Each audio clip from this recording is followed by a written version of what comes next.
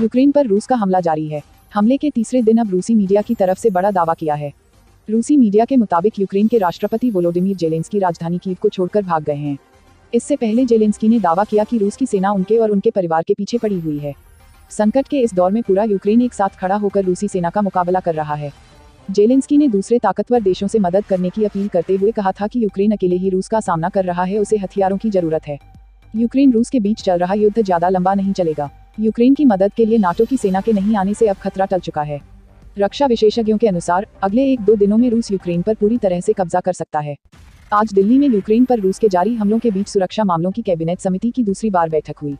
इस मीटिंग में पीएम नरेंद्र मोदी, केंद्रीय रक्षा मंत्री राजनाथ सिंह, गृह मंत्री अमित शाह, विदेश मंत्री एस जयशंकर और वित्त मंत्री निर्मला सीतारमण शामिल थे। सूत्रों के अनुसार, मीटिंग में यूएनएससी में भारत का कदम, युद्ध की ताज़ा स्थिति, अंतर्राष्ट्रीय घटनाक्रम, विश्व के नेताओं की प्रतिक्रिया पर चर्चा की गई। उत्तर प्रदेश का विधानसभा चुनाव के पाँचवें चरण का मतदान कल को होगा।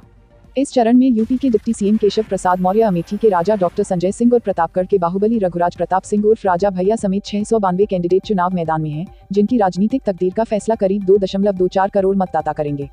इस दौरान अमेठी रायबरेली सुल्तानपुर श्रावस्ती बहराइच बाराबंकी गोंडा अयोध्या प्रतापगढ़ कौशाम्बी चित्रकूट और प्रयागराज में वोटिंग होनी है।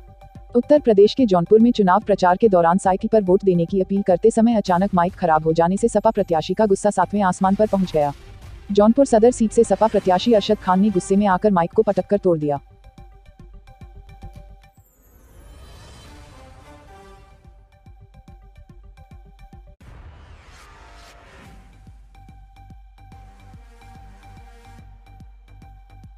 रोमानिया में भारतीय राजदूत राहुल श्रीवास्तव ने जारी किया वीडियो, कहा भारत सरकार यूक्रेन में फंसे प्रत्येक व्यक्ति को भारत लाने के लिए दिन रात लगी हुई है।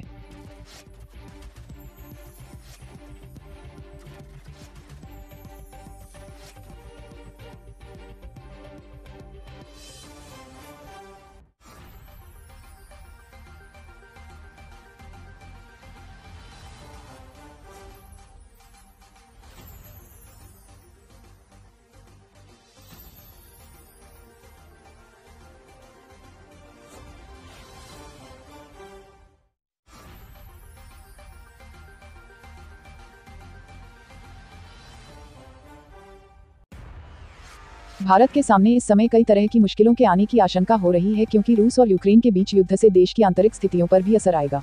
अंतर्राष्ट्रीय बाज़ार में कच्चे तेल के दाम लगातार बढ़ रहे हैं। कच्चे तेल के दामों में 10 फ़ीसदी बढ़ोतरी से भी थोक महँगाई में लगभग शून्य दशमलव नौ फ़ीसदी की बढ़ोतरी होगी। यूक्रेन दुनिया का सबसे बड़ा सनफ्लावर उगाने वाला देश भी है, इसलिए इस युद्ध का असर सूरजमुखी के तेल के दामों पर भी पड़ेगा। जीडीपी के ग्रोथ में 20 से 30 परसेंट असर पड़ेगा, लिहाजा ग्रोथ कम होगी तो रेवेन्यू गिरेगा जिससे नौकरी में छंटनी होगी तो इससे सीधा सीधा बेरोजगारी पर असर पड़ेगा।